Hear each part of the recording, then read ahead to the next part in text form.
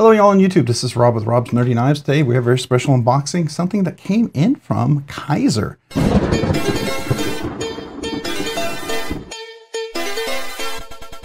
Uh, Jeremy over there at Kizer, who I met at Blade Show Atlanta and did an interview with. You probably saw that interview. And was talking about some of the new knives, was going to send a little box with maybe a couple of knives, possibly for giveaways and, and for me to check out, maybe just loaner knives. So I may have to send them back, right? I'm hoping some cool stuff we get to share. Um, I don't know if any of it's for me, if it's giveaways, whatever it is, but let's take a look together, okay? So Jeremy, he's the guy from Kizer. He does the Kizer um, um, live stream. If you check him out Wednesday, every once in a while on Wednesdays he has it. Today I'm opening up with my nice guy. This is the nice guy. This is in CPM 154. This one is the aluminum scales. And the reason why it's uh, CPM 154, because this is the one I got at Blade Show Atlanta when I was at the Kizer event. And you'll see it's 11th anniversary, 11th anniversary. Really cool little knife. So pretty exciting. I got to do a, a review on that knife because I very much enjoyed that knife a lot. All right, so we got some stuff in here. Let's see, what do we have? What do we have? All right, so got some packaging. Ooh, we got a hat. That could be a good giveaway, I think. Very nice. I actually have one of these. I think it's similar to my hat. I don't know. We'll see. So let's put that off to the side for now. What else? Oh, we have a few hats. Actually, wait a second. This is not the hat that I got. Oh, these are really nice. Well, there's three of them, so four of them. Well, maybe we'll do three giveaways. I might keep one because I don't think I have this one. The one I have is not this beautiful embroidery. Look, look at that beautiful embroidering on there. That's really nice. Very, very cool. All right, so then what else do we have in here? We have, ooh, some patches. I love patches. All right, this will be definitely for giveaways. Let's see what we have here. Okay, so we got some stickers. Action fun. I like that. I like that. Ooh, look at that. Happy 4th of July. Some more stickers. Oh, these are definitely giveaway stickers for sure. Oh, I like these right here. Some more uh, patches here, the 4th of July ones. Very cool. Very cool. We're going to leave those up here.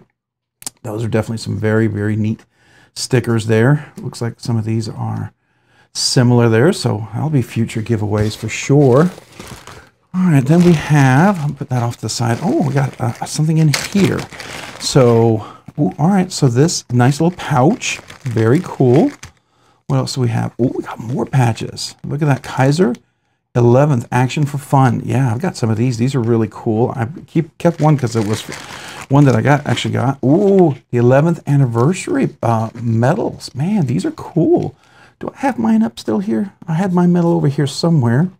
Did I put it with the other ones? Yeah, I have a place where I keep my my um, I think these are challenge coins. Um, they're medals, challenge coins, whatever you want to call it. These are really cool. Very, very nice. Ooh, and then we got some Kizer, some nice little clean cloths. Oh, this is nice, nice material too. So that's pretty, that's pretty cool. And then we have, it looks like a little pouch, probably for a knife or something, for sure. So that's nice, nice. What else do we have in here? All right, so we have another box and another uh, couple things in here. So let's take a look. All right, so in this one we have, ooh, what is this? All right. Huh. I've got to look that up. So quickly note that up there so that I can focus in on this. I'm going to move these hats off to the side and I'm going to move all this cool swag stuff for giveaways off to the side because I'd like to take a look at this knife. This looks pretty darn cool. All right, we'll put this off to the side over here in the patches, and then we've got a nice little pouch. All right, so let's see. Was there anything else inside of there? Nope. So, all right, so let's take a look at that. All right, so this is a cool little knife for sure. All right, titanium. It's got a nice kind of a kind of a very square look. It's very, it reminds me of that Russian design knife, the one that I have. I can't remember off the top of my head. It's got a fuller right there. What do we got here? S35VN blade steel. Nice big lanyard, deep pocket carry clip, like that. Nice bendable clip there as well. All right, so let's give it a flip and see how it goes. Ooh, nice Tanto satin finish with a nice fuller. So it's got a thumb hole and a fuller. Kizer blade here. So again, what is the name of the blade up here? Wish I knew off the top of my head. This is an unboxing, a first impression. I don't think I've, I've never handled this one. If I did, I don't remember. I like it. All right, so great cutaway for the lock bar. It does have an over travel stop and, and a steel bar insert that engages the tang. Looks like we're a good 50, 60%. No blade rock, no pivot play. Let's listen to that detent. Nice click, no detent lash in there. Pretty dead center, yeah, pretty dead center. I like the action. That's really nice. And that close action, oh, that's really nice. All right. All right, so you can catch it there. Let's see, where's that detent? So you clear the detent right there. So once you get past, let's see here. Yeah, right there. You clear the detent right there. So my thumb, if I catch it right there, I'm past that detent and it can just drop shut. That action's really smooth. Gotta admit, cage, but it's gotta be cage bearings. I like the satin finish. It's definitely a Tanto flat grind. Um, you got a nice little point there, um, almost like a clip Tanto. I don't know what you want to call that because it's this is not really a drop point. It's it's it's got an angle up here. And so to me, that would be a clip point. It's not quite a Bowie because it's not cut out. So it's like a clip tanto. We call it a clip tanto. That's what I'm going to call it. I don't know if that's official, but hey, you know, we're going to make up the name. Action's really nice. Really, really nice. This will definitely probably be a really nice giveaway for sure. But I'll have to do a little review. All right, so do we have the maker's mark here? Beyond. I wonder, is this Beyond EDC or something? Hmm. All right. So there's the maker. Again, we'll have the, the name of the brand up there, name of the knife. I like the action. All right. So nice, no super sharp edges up there. It's got enough of an edge to get your finger in there. Easy to drop and carry. It's really easy to open. I do like that. So you can always open a knife like that, right? Let's see. Let's do this left-handed.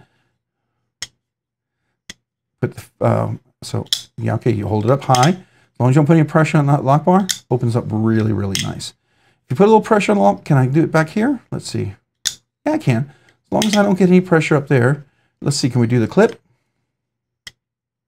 Yeah, you can do the clip. You just got to get in there. Got to get in there right here. Oops. Hold on. Got to get in. Ah, well, it's going to definitely be easier going up high. So captive pivot. Looks like T8 hardware. T8, T8. That's nice. T8 everywhere. All right, so the hardware for the steel bar insert is inside. Uh, nice and rounded here. Excuse me one second. Kershaw. All right, I'm back. So nice and rounded. I, I, I, do like that. A lot of hidden hardware. So you only two screws, three screws on this side, one, no screws on this side. Really uh, flawless presentation side. I like that a lot. So this, it would, this was probably like one of the knives from the knife show. Man, this makes a great giveaway, guys. Come on.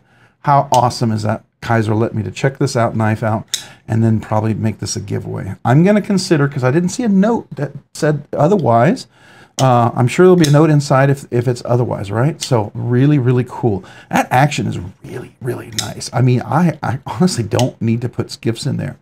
That's really stinking buttery, buttery smooth. I really, really dig that. Wow. That's nice. Oh, yeah. Oh, yeah. Real easy to flip. Top up there. Thumb works really well. I like that not, a lot of nice action getting in there. And then the cutout, it has chamfering on here, but it's easy access, so you're not having to push, and it's very easy to disengage. It's not one of these where it's uncomfortable and you can't get your finger in there because there's a nice, it's cut away up here like that.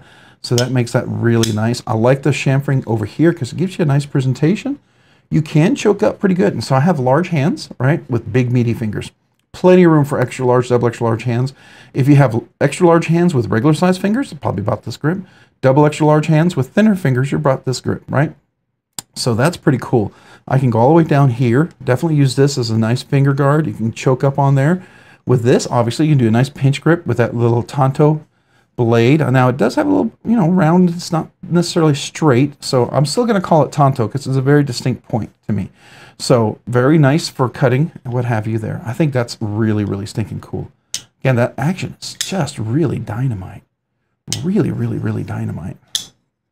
Yeah, this is a nice fidgety little knife. Now, it doesn't have multiple deployments, but boy, that, that, that thumb hole, fuller hole is really nice. Really nice. And you can get down low, right? You can get your finger inside that and get a nice flick as well. You go up, you can even go a little bit high if you wanted to, all depends. I can actually use the thumb over there, really nice. Left-handed works really well. Over here, just, you know, you just want to make sure your thumb is up here. And because it's nice and cut away down here, it's real easy just to put your thumb up there, kind of get, get access to it. I like that. I like that a lot. All right. So let's look at that blade shape. So we do have it. Looks like a pretty even blade. Let's look at the other side. Yeah, the milling is not bad. Not bad at all, actually. Pretty even straight across. That's that's impressive. That's impressive. Now, I, I wonder if it's been sharpened a few times because it's probably been displayed. Let's feel how sharp that is. It's still pretty, pretty crazy sharp. That's nice. That is nice. I like that.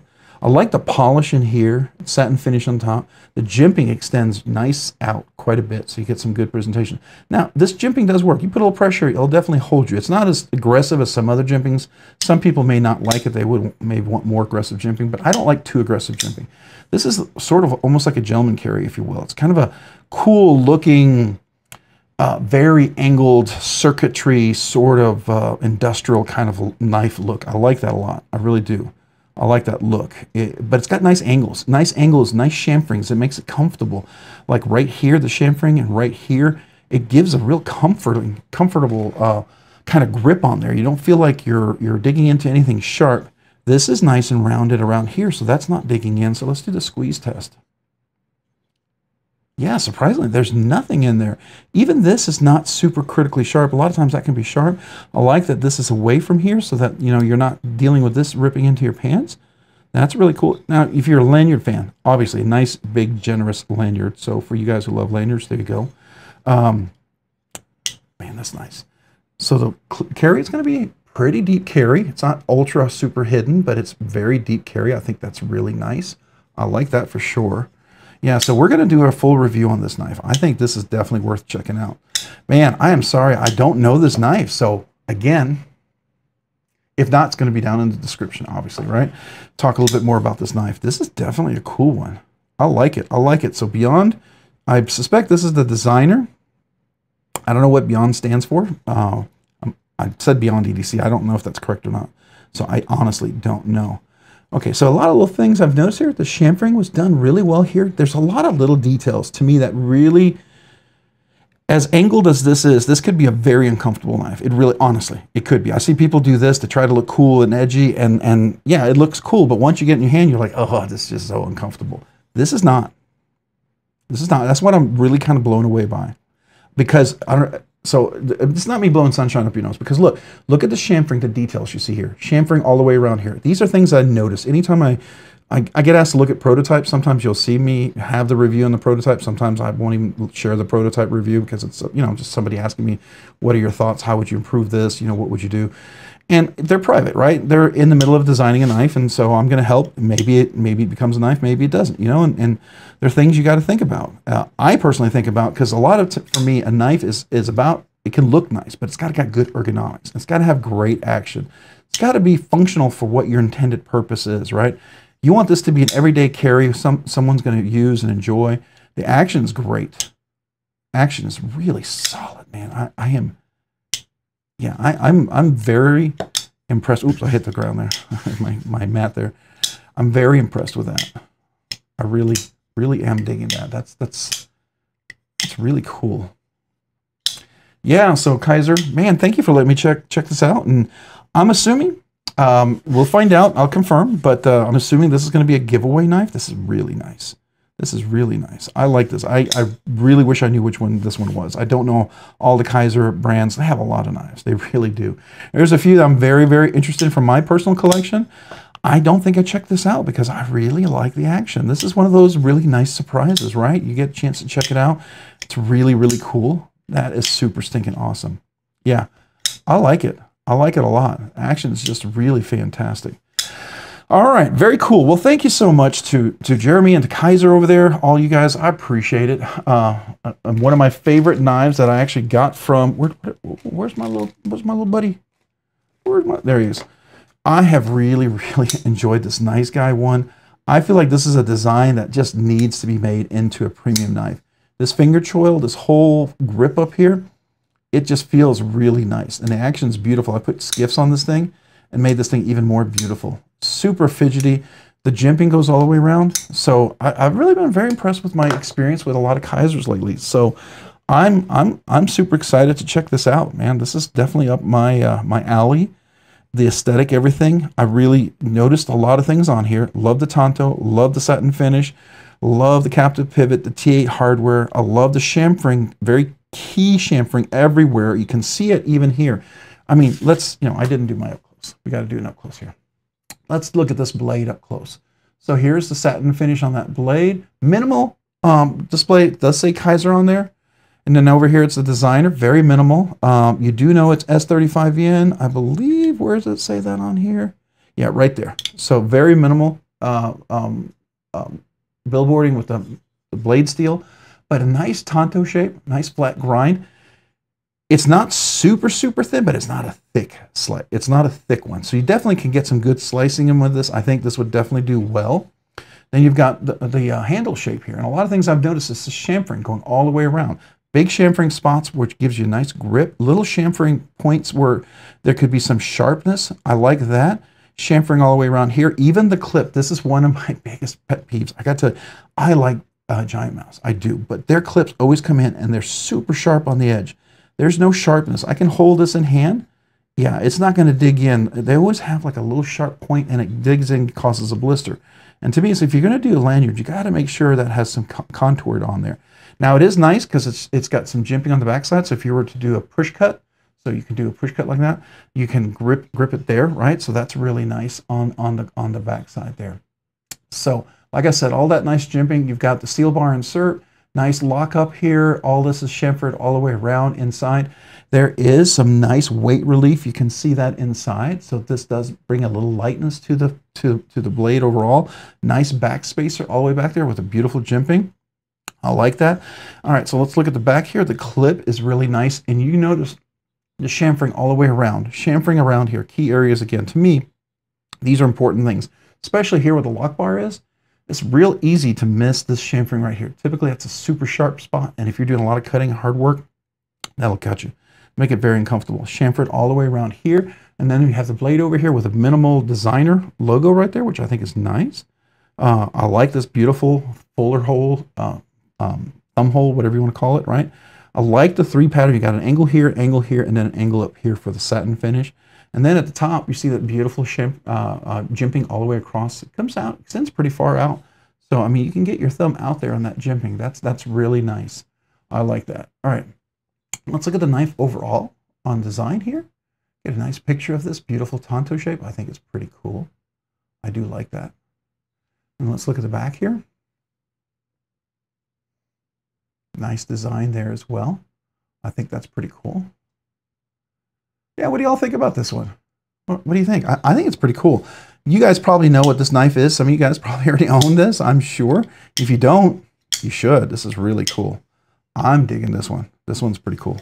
All right, so there's the Kizer knives. Thank you again to Kizer uh, for allowing me to check this out. I think it's stinking cool. I thank you for the the swag that I'll be able to do some giveaways. I appreciate the after extra gift bag. I can put my knife in that, or we'll just give that as a giveaway, I guess. But I mean, I don't quite have a bag for this one, but I could put put it in there if I wanted to. But I really enjoy this knife. I carry this, I use it around my desk a lot, and it's meaningful because it's it was given to me from going to that dinner. So I just I really appreciate that right? Likewise here, this is a really cool knife. I, am going to guess Kizer's really good on prices, but this is a well-made knife. S35VN blade steel.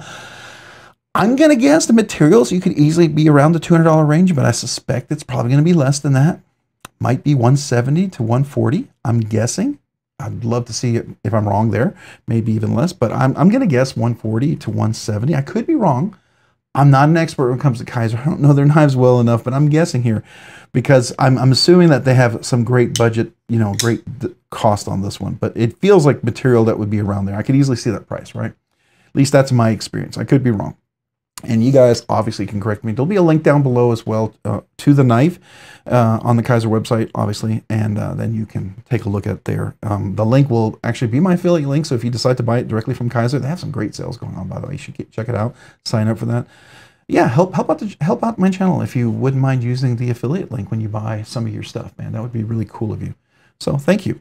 Hey, if you found this content fun, interesting, worthwhile, or entertaining, would you please consider hitting the like button down below? And if you've already hit that like button, would you please consider hitting the subscribe button?